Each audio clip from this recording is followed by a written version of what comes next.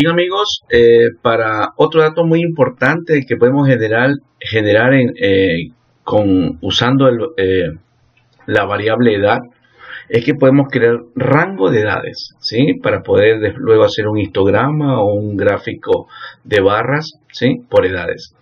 Bien, para esto vamos a usar la función si conjunto. Vamos a insertar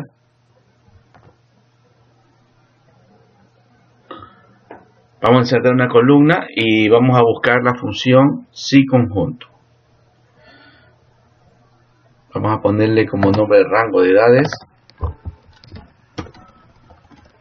Rango edades. Muy bien. Vamos rápidamente a buscar la función si conjunto.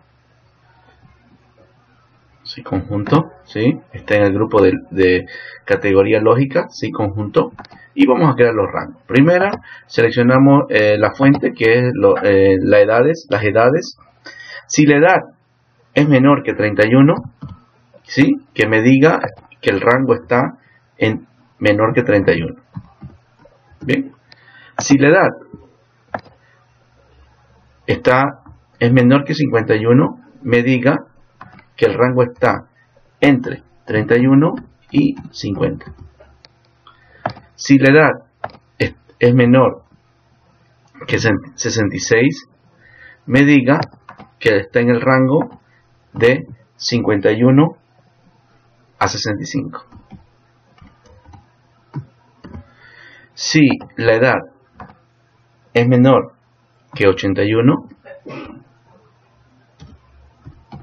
me diga que está en el rango de 66 a 80.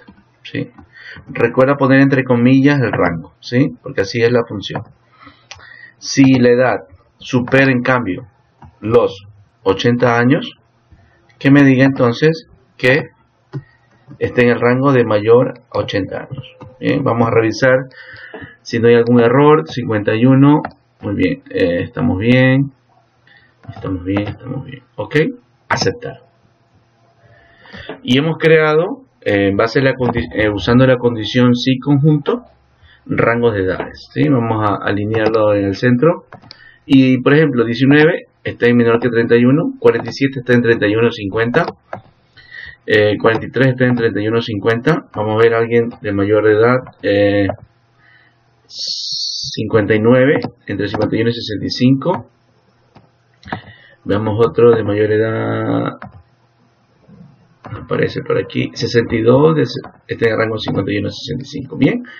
Recuerda que con las funciones sin conjunto para un analista de negocios es muy importante porque podemos dar valor a la variable edades y podemos crear rango de edades. Gracias por nuestros videos. Compártelo que seguiremos subiendo más videos de análisis de negocios